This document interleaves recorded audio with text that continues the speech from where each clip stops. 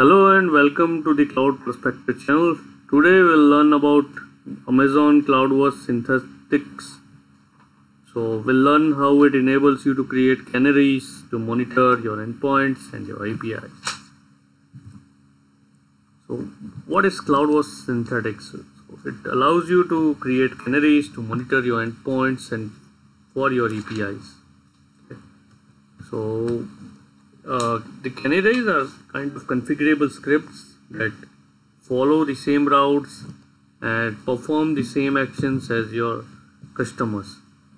Canaries enables you to continually you know, verify your customer experience even when there is no customer traffic on your application. So let's say you have a website where currently there is no traffic but you want to continually you know verify if the page links are broke are broken or you know if uh, the the site is available or not. So what cloudwatch synthetics does is once you configure uh, the url and like in the canary then it will continuously monitor your website 24 7 and for the period you have defined. So uh, this also lets you discover issues you know beforehand before your customers do and react quickly to fix them. So com- common applications include monitoring for page load errors load latency for ui assets or broken or dead links complex wizard flows or checkout flows on your web on your you know uh, web pages. So i will quickly drive you through you know the aws management console and will create a canary from cloudwatch dashboard and uh, we'll see how it works. So here i am logged into my aws management console. I am in cloudwatch dashboard. Under application monitoring you see this synthetics canaries so this will uh, navigate you through the canaries part.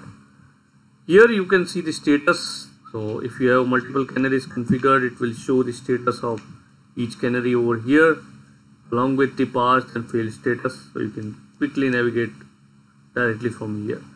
The canaries runs. So like run data I, currently I don't have any canaries configured so it's not going to show any data over here. Uh, this shows the canaries which are created. And you can also tweak the uh, you know change the period from over here which is currently 3 hours from 1 hour to 1 week you can configure over here. So let's quickly create a canary and uh, go from there. I click on the create canary button. So here you can see multiple options which is using a blueprint.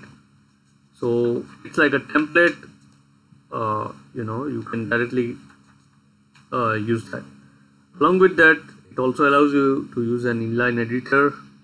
Or if you have the canary template available in s3 you can import it from there. I will uh, for this demo purpose i'm going to use the blueprint. Okay and uh, these are the blueprints that are available which is heartbeat monitoring. Heartbeat monitoring is like you know you need to configure your url and it is going to run, run uh, you know it, it's gonna load that web page and check if it, it is available or not. If it is not available it will mark it as a fail. Then we have this api canary. So if you have apis you know you can monitor it from over here. Broken link checker. So this allows you to crawl you know all the links like from a particular url and it's gonna detect the broken links. So you can uh, also configure the like how many links you want to you know uh, want this tool to monitor. This is canary recorder so you can record the canary like but you need to download a plugin and configure it. This is GUI workflow builder so it also has a builder through which you can you know click in the actions what you want to perform. And uh, this is the new option that is available which is visual monitoring. So visual uh, it's it, it's like monitor the visual changes for every run. So for this demo purpose we are going to take this heartbeat monitoring and the broken broken link checker. Okay? So let's first check the heartbeat monitoring. So I will give a unique name over here which is uh,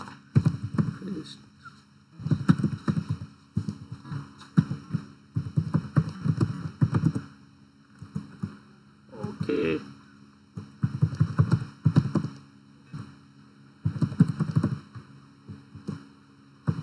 I'll name it as Cloudperceptor HB and uh, I'll uh,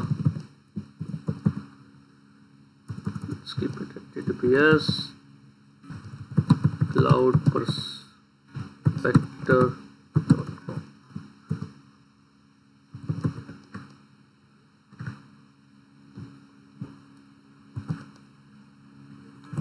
It's uh, cloudperceptor.com.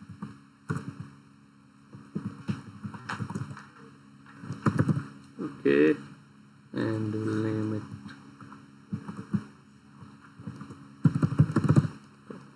okay so if you have multiple endpoints then also you can add it over here but as for the demo purpose we only have one so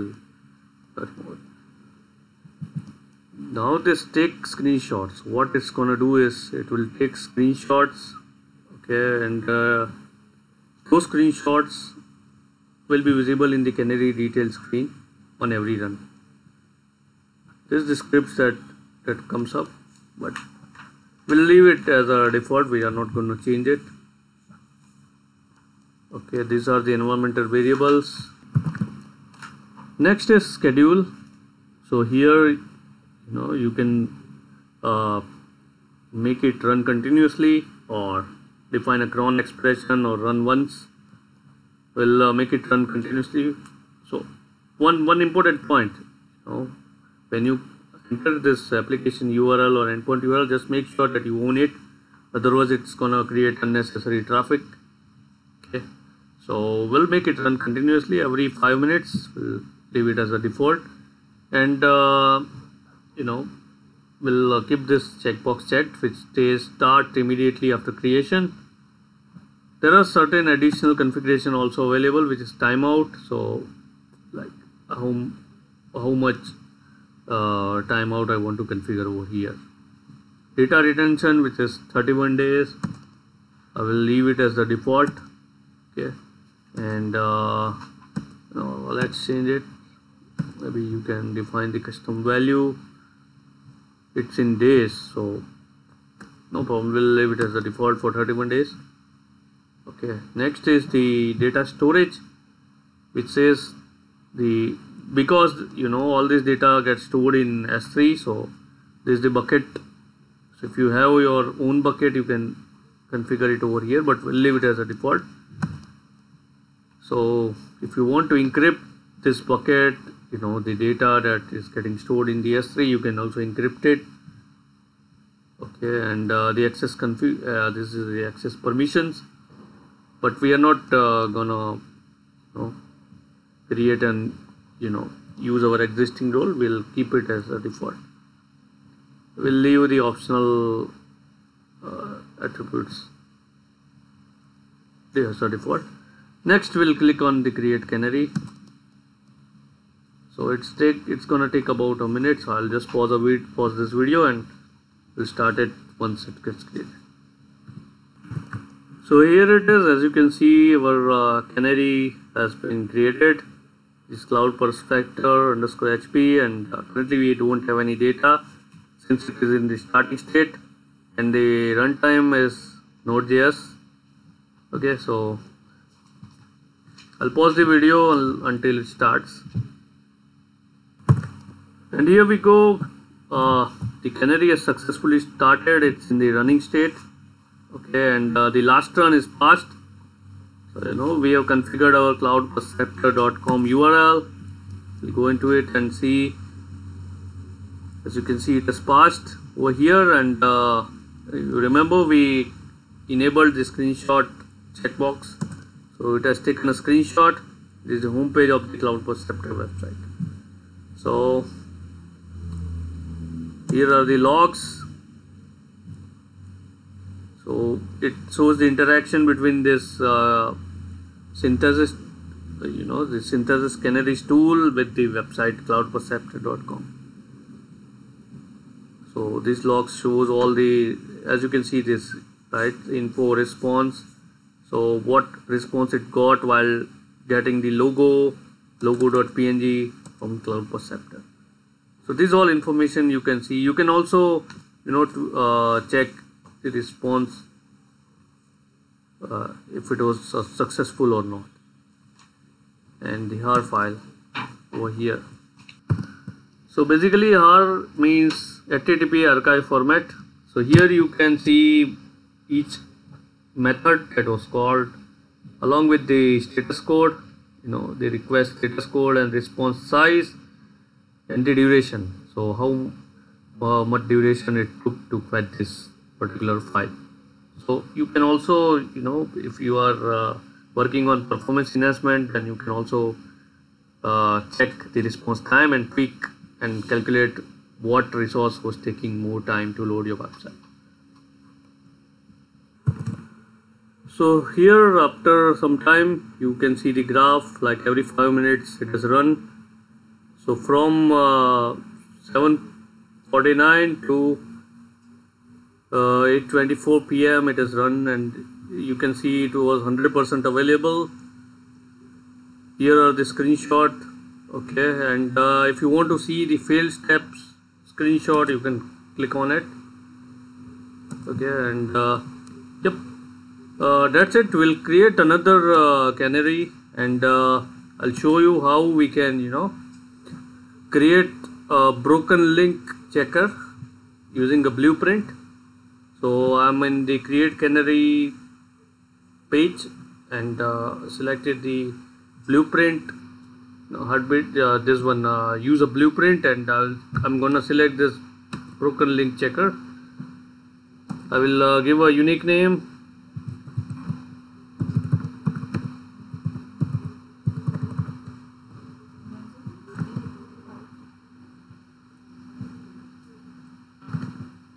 and uh, will enter the URL slash slash.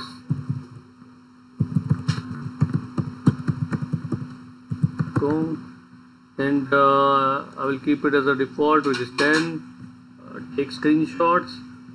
Uh, runtime version I will keep everything as a default. Run continuously every 5 minutes. Start immediately after creation. And uh, data all these options I'm going to create as a default. Uh, for permissions I will create a new role. Okay and uh, I'll click on create canary button. Uh, some of the fields I think I missed some of the fields. Well oh yeah okay I think uh, I have to mention some value here. I will keep it as a 10 and then we'll create canary it will take a while. I will pause this video until then and then pause it after that.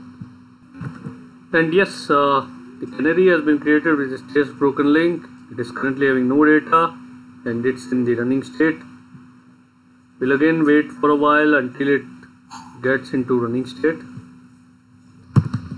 And yes uh, the canary is now into the running state. Okay let's click on that and see as you can see it has scanned through all the links. Currently my website is having only seven links. So it shows all the links over here. It has taken screenshots for each of this link okay each of this page. Here you can view all the screenshots. See? And uh, the logs and this http archive file so in case if any of your link is broken it shows a red mark over here and you can act on based on that even this graph will show this up so that's it for this synthetics canaries from CloudWatch, AWS CloudWatch. Thanks for watching this video. Do subscribe and like my channel. Thanks again.